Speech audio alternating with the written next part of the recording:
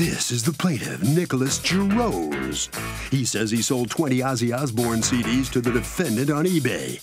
And once he received them, he lodged a complaint claiming they weren't authentic. eBay sided with the defendant. He issued a refund through PayPal, and now the scammer won't return his CDs. He thinks this was a con job from the start and wants his CDs returned, or their value of $158.30, the exact amount he's suing for.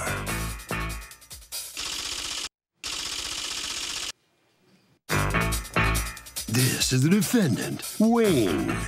He says the plaintiff sent him bootleg copies of Ozzy Osbourne music, so he complained and was issued a refund.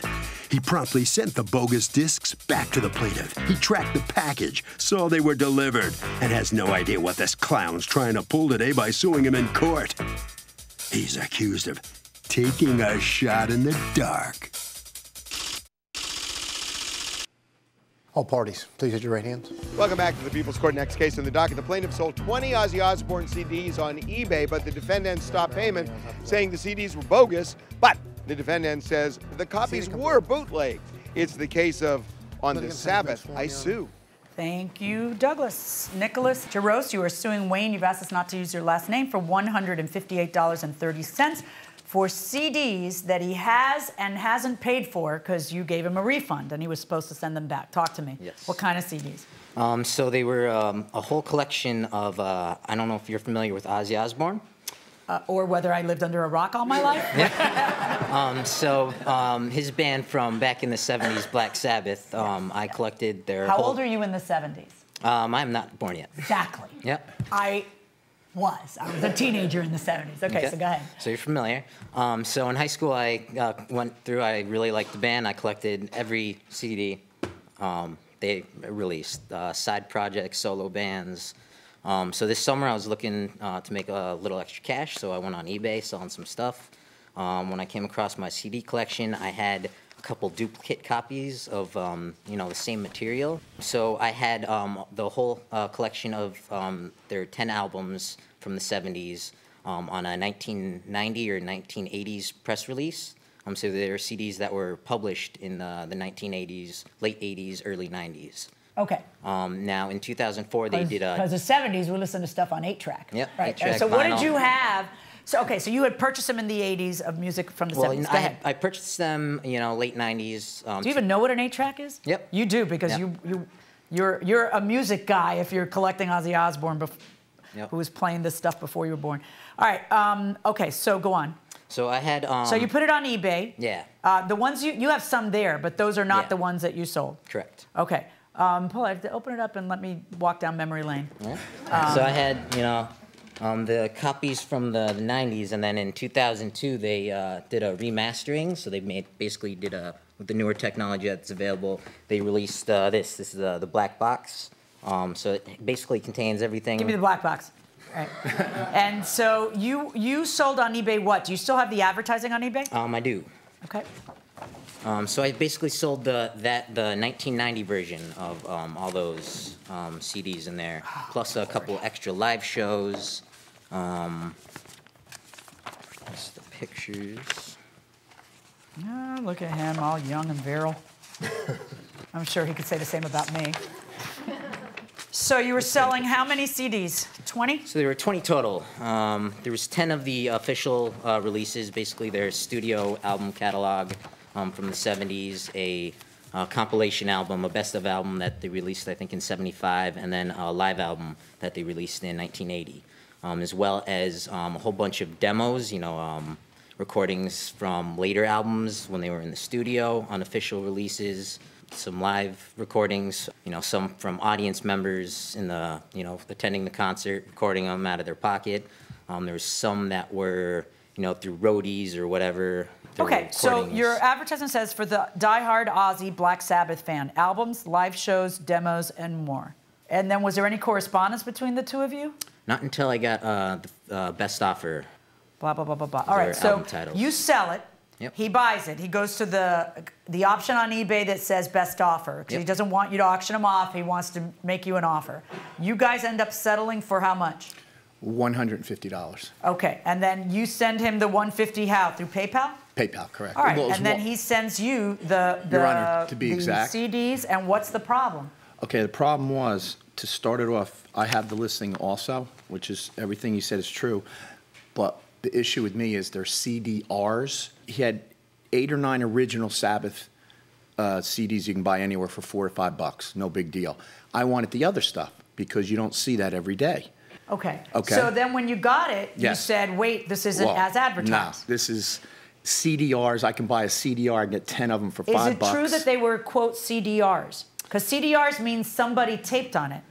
Um, I, I'm not 100% sure as uh, to the distinction he's trying Well, to make. Well, where'd you get them? I mean, I- I- CDRs are, uh, isn't CDR, doesn't that mean that it's not, um, it's not mass produced by the record label? Correct. It's, Correct. Um, so all the extra stuff, uh, all the live shows except the, the one official one um, were unofficial. Um, so I got those on eBay, um, you know, uh, building my all right, so collection. in any up. event, you have the complaint and you file the complaint, you say, these aren't authentic, I don't That's want them. correct. All right, and you end up being forced by eBay or you just don't want to fight anymore and you issue the return. Correct. Um, I'd like to clarify a few points on that in the interim between that.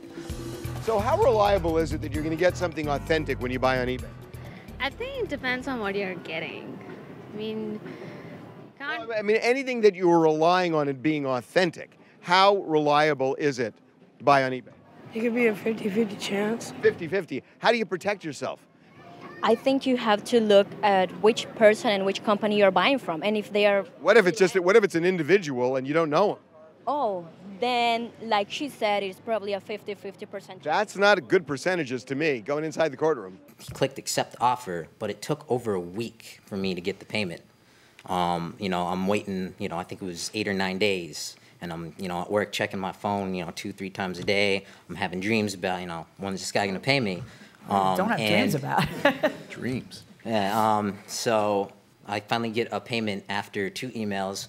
Okay, so you think he's just trying to get out of paying you? Yeah, yeah. You initially. think he took all that stuff, taped it onto his iTunes, and s- sending all of it back? Yeah, yeah. All right, but in any event, we're kind of past that because what happens is you decide to give him the refund. Correct. So you give him the refund, and you've never seen the tapes back. Never got anything back. So I mean, the CDs. as- So what happened? So can I just elaborate a little No, bit you cannot. No, okay. Answer my question. What happened? They were because sent back eBay to didn't eBay send you like a label and everything to mail the stuff back? I was on vacation, that's why it took me long to pay, okay? I was with my I family. don't care. You guys are getting stuck on stuff I don't care. Okay. The essence of this is eBay agreed with your complaint or he succumbed or whatever, whatever it is, he They relented. did. And then next thing you know, eBay sends you a label, right? That I could use it if I wanted to. I didn't have to use it. What did you do? I sent it back myself by first-class mail, it was cheaper. Prove it. I don't have it with me, Your Honor. I have, Well, then you're nailed. I have everything here. No, no. He planted You're- no, seeds. No, no, You He can't planted do it. seeds. Dude, you sent the stuff back in a method where it never got back to him. And you can't prove you sent it. You didn't send it. You chose a cheaper method. You didn't Correct. insure it. You didn't send it return receipt requested. You didn't use the label that eBay sent you. And the, e- the label eBay sends you, they pay for postage, right? Sometimes they do, sometimes I This don't. one they did. I don't, I can't verify What's that. the point of sending you the label unless it's paying for postage? I so you chose, you say, to use a different method, but you look terrible right now because it looks like you kept the refund and the CDs. That's what it's looking like right now. Okay. Prove to me you sent anything in any way. I can't prove that And prove to me and explain to me why you would choose a different method than the free one. because I had to return an LP. These are CDs. I returned an LP to a gentleman in California. The label was 950 to turn return a record where I could get it media mail for 323. It's a big difference. Yeah. So for six bucks, let's see if I got this straight. For six bucks, you're going to have to pay the guy the 158.30 because you didn't bother to go ahead and include insurance on it and proof of mailing, so that you could go to the U.S. Post Office and say, "Hey, this got lost in the mail," Your and you could track it. That's where we are. I've done it so many times. I've never had an issue. Well, then you could just consider it a cost of doing business. Okay, $158.30. Verdict for the plaintiff. So, the defendant has no proof. He loses the case, and the plaintiff wins. I'm intrigued. Why? Why you never did say why you didn't use that free? It was not free, sir. No, Well, she says it was. and she has a copy of They, it. Apparently. I think it was 705 or 750 to well, send back. you learned the hard way. Do you do this a lot? I do. I've been on eBay for five years. What is it about Ozzy Osbourne records that you so like?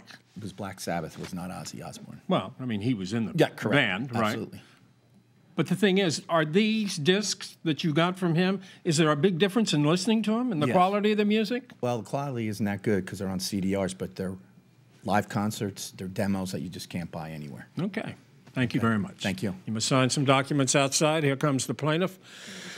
Mr. Jarosz, you satisfied now? I am very satisfied. Okay. Um, it's not hard to get a receipt from the post office. I have one right here Sure for isn't, I know. mailing the court documents. Okay, very good. Thank you Thank very you very Have a much. Appreciate it. Okay. Harvey? You know, everybody kind of talks about this and nobody does it, but it's important to do. If you're buying expensive stuff that has to go through the mail, it is really important to buy insurance for it. It's not that expensive and it protects you a lot.